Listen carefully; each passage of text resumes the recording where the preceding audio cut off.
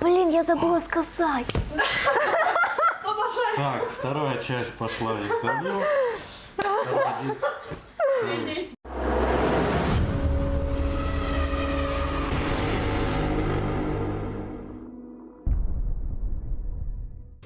То есть подруг у тебя много. да? Подруг это много. Хороших людей тоже много. Но обычно вот люди, которые занимаются определенным видом деятельности, у них и подруги. э, те- Да, притягивает как-то. Те, которые тоже чем-то занимаются Да, близким. Вот у тебя кто подружечки? Расскажи о своих подругах, которые мы, мы потом дальше пойдем. Ты ничем не занимаешься. Ой, ну вообще э, я познакомилась как-то прям э, со своим мастером э, по ресничкам. Это Ирина. Знаем мы про Ирину. Вот. Доберемся скоро до нее. Ирина, да. Диана Павлова макияжем занимается, тоже талантливая девочка. Она при мне как раз и начинала с этим заниматься, и сейчас уже прям молодец, идет в гору. Не, примерно знаешь, как бывает, вот, что человек чего-то не допоминает, как вот Светарский рассказывал, ты же смотрела, бровки там вот миллиметры, там что-то не Да. туда, и человек начал предъявлять. И также ты что-то делаешь, а, а твой клиент не понимает, что так и должно быть, и он начинает тебе Да. предъявлять цвет волос, к примеру. Ну, это часто бывает. Ну, э, во всяком случае, всегда бывает во в любой профессии такие нюансы, и каждый человек воспринимает по-своему. То есть, допустим, он пришел, говорит, хочу один цвет, А, просто название.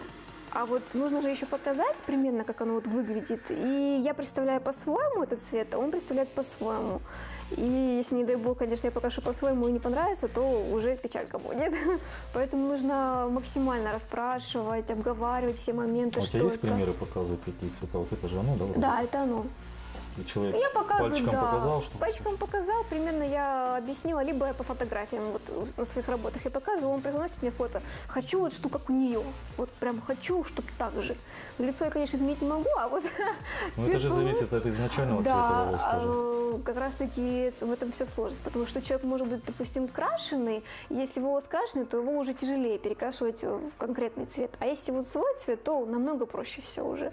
И я уже, когда мы разговариваем с клиентом, э, я ему объясняю это все досконально, стараюсь, и тогда уже, ну, есть понимающие тоже, есть, э, которые, ну, не знают какие-то там нюансы, и с ними посложнее, ну, как-то справляемся. Ну, а вот клиент есть у тебя в любом случае, у каждого мастера есть клиент, которому ты рада, рада, прям вот тут приходит именно? Много таких клиентов, э, но тоже вот такие вот люди, которые вот приходят, и они заряжают вот э, тебя, не знаю, весь день заряжают таким позитивом, что хочется еще, еще, еще. Даже бывает, вот я работаю весь день, там, до часов до 8, до 9, и вот приходит последняя клиентка, вот та самая, которая вот такая позитивная, такая заряжающая, и вроде ты думаешь, что у тебя сил нет, вот последняя клиентка, ну надо, надо. И как-то так с ней пообщаешься, так взбодришься, и тебе хочется еще, хоть в ночную работать. Ну, таких много клиентов, как бы зависит тоже от самих людей. Но мне кажется, а, что вот какой мастер, такие клиенты все-таки притягиваются. А, Те люди, которые вот знают меня, они видят, как я себя веду, мой образ жизни, они притягиваются, и им хочется ко мне идти. А, Ну, они примерно, значит, такого, ну, такие же. А те люди, которые немножко другого э, мышления, они предпочитают других мастеров. Ну, как бы на каждого клиента, на каждого мастера свой клиент. И я не считаю это как бы плохим. Просто у каждого свое. Вот э, когда начинала заниматься ты парикмахерством, у тебя был какой-то была какая-то цель. Сейчас ты, добившись того уровня, который есть у тебя, сейчас некоторые девочки по тебе равняются. Но ты как человек творческий, как мне кажется, ты в любом случае есть э, тебе еще куда развиваться. И на кого ты сейчас равняешься? Вот кто для тебя э, человек, который Георгий Кот. Он с самого начала, наверное, просто эталон всех парикмахерских искусств. И мне всегда вот хотелось бы не то, чтобы быть похожим на него, мне просто хотелось быть э, такой же, э, не знаю, талантливой, не знаю, нужной людям, э, как бы добиваться своего, чтобы, как вот он говорил, оставить свой след, чтобы потом о тебе все время говорили. Как бы и нужно постоянно учиться, учиться, и чтобы это не только вот просто приносило тебе вот удовольствие, чтобы это передавалось кому-то еще. А как же Сережка Зверев? Я про него, честно, вообще ничего не знаю. Забыли бедного паренька, забыли.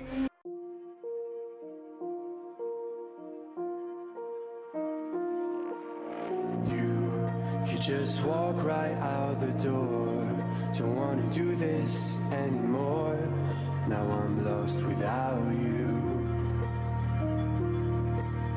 You drive me crazy out my mind. How'd you do this every time? Now I'm lost without you. Used to be the one I talk to when I'm sad. Can't you see now tainted love is all we have? Our issues run so deep now when I try to sleep I feel so bad.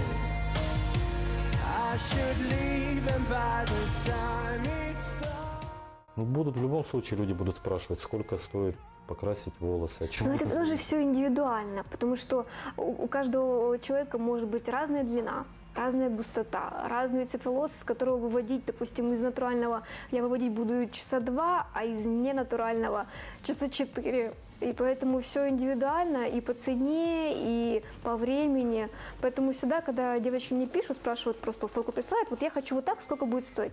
Мне нужно, чтобы они прислали свою фотографию, э, прислали желаемый результат и, и пояснили, какая у них густота, длина, чтобы я примерно ориентировочно знала, какую цену им сказать. То есть по всем вопросам через Инстаграм, через вот Да, поэтому я там застреваю. финансовым вопросам, да? Что с твоей коленкой? Вся Калининская переживает. Все девочки в шоке, в Инстаграме следят за тобой. Не умерла наша Дина, что с ней? Все нормально, жить будешь? Жить буду, да, и думаю, через недельку ходить начну. Да вроде ходишь, смотри. Работа лечит, поэтому я думаю, быстренько-быстренько так подлечусь, и нормально все. Ходить можно. Хорошо, что не коленка делаю, прически и крашу тоже. Руки есть и ладно. Вообще я Дина. Но по паспорту я Диана.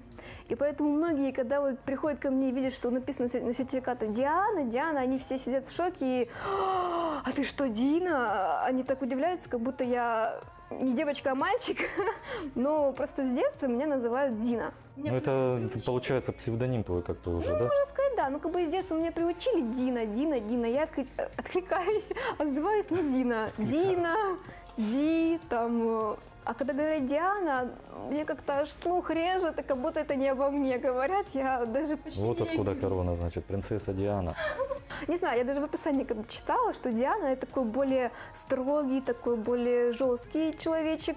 Э, ну, я так читала, по крайней мере. А Дина более мягче, она даже как-то звучит. Не, у меня планируется просто обучение вот в июле в Сочи. Кота. Вот, э, на две недели. Это, наверное, самое долгое мое расставание с работы, ну, как бы без покрасок, без стрижек, без всего. Там я буду обучаться повышением по прическам.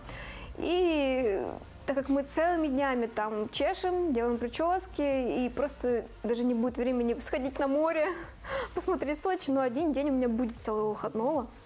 Поэтому я планирую все-таки попасть туда. Короче говоря, по количеству сертификатов мы прекрасно уже поняли о том, что ты учишься, учишься, развиваешься бесконечно. А вообще есть какая-то вот прям такие очень-очень, Глобальные цели? да, вот э, какие-то планы на будущее? Хочу школу свою открыть парикмахерского искусства. Вот прям хочу. Это как у Гриши Лепса. Пел, пел, пел, теперь начал продюсерством заниматься. Так же и ты, да, сама стрижешь, а потом будешь обучаться. И этот процентик. Вы работаете, ребятки, вы мне это, ну правильно, но это уже, я думаю, на пенсии будет. Ну, Почему? Нет, нет, нет. Я просто вспоминаю себя, когда я только начинала заниматься, и вот у меня тогда не было возможности, не было денег, чтобы пойти обучаться. Но сейчас же тоже есть такие девочки, которые вот э, горят желанием быть парикмахером, но у них нет ни финансов, э, ни возможности вот там ездить в Краснодар тоже, кто будет кататься каждый день, тяжело это. А так как бы я хочу за это взяться. Я еще смотрю в Инстаграме, очень часто тебе твои благодарные клиентки дарят подарки. Я знаю, что любят подарки все, конечно же. И что тебе чаще всего дарят? Сладости. Я раньше как бы их любила, но не так сильно, а теперь это как-то даже подпривыкла. Человек, которому дарят постоянно сладости, стройный, красивый. А потому что я все время работаю на ногах, и, наверное, это... Я единственное как раз таки то, что ем, это сладости, потому что время на обед у меня практически нету. А так вкусняшка, думаешь, что поесть, что поесть? О, шоколадки.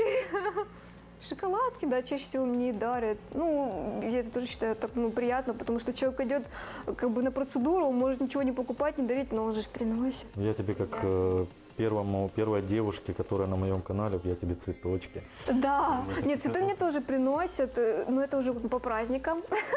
Ну, сегодня праздник для канала, для- Считай, да. что у нас все-таки девушка, а то у нас бородатые мужики только в роликах, поэтому... Э, Ну, я хочу сказать, что если у вас есть какая-то цель, а у человека любого всегда должна быть она, нужно задаться ею, ею. вот. И нужно всегда стремиться к этой цели, несмотря ни на что. Будут всегда сложности, будут трудности, но если вы мечтаете о чем-то, вы должны идти к этому. Это же ваша цель. И жизнь вообще одна. Когда вы еще успеете это сделать? Так что идите вперед только. Советую, как реагировать людям на комментарии. Вот человек начал заниматься каким-то делом, и у него находятся какие-то диванные критики, которые раздают свои советы, и люди начинают безумно переживать по этому поводу. Вот что ты посоветуешь, как реагировать на это? Ну, это всегда бывает. Ну, поначалу не нужно реветь, как это делала я поначалу. Э, Нужно взять себя в руки, вспомнить, что тебе нужно, что дает вообще-то тебе человек, э, кто он сам себе, важно ли тебе его критика, вообще комментарии. Нужно, конечно, прислушиваться, потому что бывают негативные э, комментарии, они каким-то образом делают тебя сильнее. То есть ты задумываешься, что я делаю что-то не так, и начинаешь себя еще выше как-то поднимать, что-то работать над чем-то, э, где ты увидел у себя косяк. У тебя рядом с тобой были люди, которые уже прошли через это, но увидели в тебе какое-то стремление, и оказывали тебе поддержку. Они были в этот момент рядом с тобой? Или ты сама с этим боролась? Ну, только, не, ну, меня всегда поддерживают близкие мои, а вот так, чтобы они как-то преодолели свое, у них были такие же ситуации, наверное, нет. Приходилось как-то через все это переходить, и близкие меня на- настраивали, что не расстраивайся, мы тебя такое любим, все будет хорошо. Не обращай внимания на этих всех людей.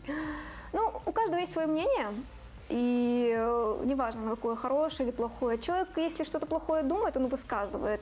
Это его дело, как бы. А ты должен дальше стремиться идти к своему, а не обращать внимания. То есть, как говорится, собаки лают, караван идет. Да, ну в любом случае, мне кажется, таких людей, которые критикуют, их очень-очень Да, мало, и очень большая часть все-таки, ну, как бы их много, но тем не менее гораздо меньше, чем тех людей, которые тебя поддерживают. Поэтому Ну, и те, которые поддерживают, они искренне радуются, а те, кто не поддерживают, что-то у них, значит, у самих нехорошо. Значит, им нужно в своей жизни что-то менять, чтобы у них точно так же было. Я всегда, допустим, так и думаю. Если я кому-то завидую, э, такое тоже возможно, я просто задумываюсь, что, блин, я тоже так хочу. И, и зачем говорить про человека гадости? Просто ты понимаешь, что, ага, чтобы я также вот такого же добилась, ну, хотя примерно, нужно что-то менять в своей жизни, а не критиковать, осуждать его. Никто не знает, через что прошел тот человек, который добился всего. Ну, проще говоря, не тратьте свою энергию попусту, да, направляйте энергию на себя. свою жизнь. Время-то идет, часики-то тикают, годы летят. Поэтому надо что-то, что потом в конце, в конце, потом уже в более такой взрослой жизни, ты вот сидишь такой вот весь старенький, ты смотрел на фотки, на видео, и ты понимал, что ты многого добился в жизни, что ты не сидел просто на месте, там не комментировал что-то, чье-то там, а ты сам двигался вперед, чтобы было о чем вспомнить. Нужно просто создавать все эти воспоминания самим. Бывают часто такие ситуации, когда мне девочки звонят, а, пишут, а я в работе. Я, получается, как на работу, как проходит мой обычный рабочий день. Я просыпаюсь, я э, залазю в Инстаграм, я отвечаю на смс-очки, поотвечала, поотвечала, там наполовину, оста- оставшуюся половину оставила, все. Там позавтракала, еду за рулем. А, я же не могу отвечать за рулем, правильно? М, Нельзя, конечно, это запрещено ПДД, Да, нельзя. поэтому я не могу, и поэтому я же, естественно, телефон не беру. Э, Клиентки уже начинают обижаться, кому я могу не ответить. А когда я приезжаю на работу, клиент уже ждет, ждет под дверью, мне нужно уже начинать свою работу. То есть, естественно, я уже ответить тоже не могу. И так затягивается весь день, я работаю, руки в краске, там, не знаю, заняты чем-нибудь. А клиенты звонят, и я же пытаюсь объяснить всячески, всегда выставляю, что отвечу позже, отвечу позже. Некоторые обижаются, к сожалению, но Поэтому я всегда э, рекомендую, чтобы писали мне смс -ки. На звонок, чтобы мне ответить, мне нужно снять перчатки, либо как-то добежать до телефона, добежать до блокнота, посмотреть записи. А смс вот я накрасила клиентку, у меня есть там чуть-чуть времени. Я подошла к телефону, открыла одну смс ответила, другую ответила, третью, четвертую и так далее. Открыла блокнот и сразу записала. То есть для меня это намного проще, чем с телефоном. А когда на звонки, э, очень тяжело. Поэтому Да, Поэтому, девочки, если Дина вам не отвечает, она, не, она не спинку на солнышке греет, она работает, она занята, она ответит. Я не специально, потому что бывают иногда негативные смс что вот вы мне... Ты что, охренела, ты что не отвечаешь? Я не поняла, я тебе Не, бывает даже посылают. Вот прям был случай, что меня прям далеко послали, не знающий меня человек, просто что я не ответила, меня послали. И я сижу, я еще вроде ничего не делала, а меня уже послали. И думают, что я специально игнорю, не отвечаю. Просто я отвечаю не потому, что я не хочу, а потому, что я работаю. В общем, да, пишите, звоните, подписывайтесь на его канал и на мою страничку. Ставьте лайки, репосты. Это называется коллаборация. Девушка, что мы ходим вот это по студии? Что вы ходите по моему салону? А, еще, еще самое главное, я хотела сказать же. Так, так, так. Все понесло, понесло. Давай. А ты сфоткала нас? Да. Надо мне наставление сказать. Наставление. Какое наставление?